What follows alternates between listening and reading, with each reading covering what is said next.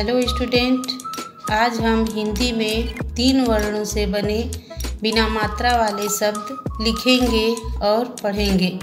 आइए शुरू करते हैं। प, व, न। पवन, भ, व, न। भवन ह, व, न, हवन,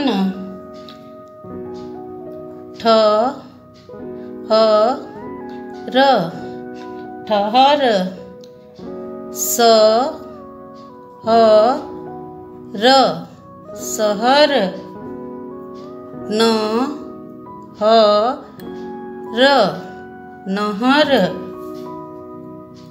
ग ग, न, गगन,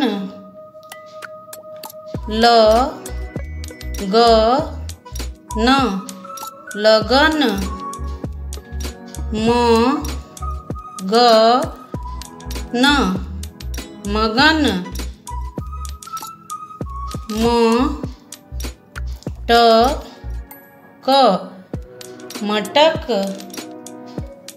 झ ट क झटक अ ट क अटक। बच्चों, इसे एक बार फिर से दोहराते हैं। प, व, न। पवन, भ, व, न। भवन, ह, व, न।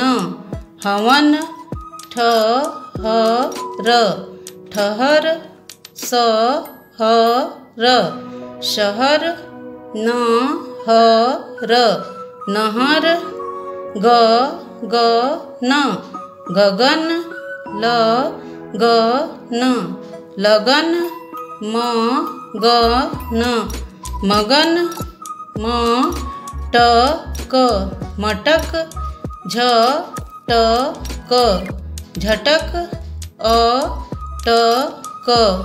अटक। बच्चों इसे लिखिए और इसे याद करिए।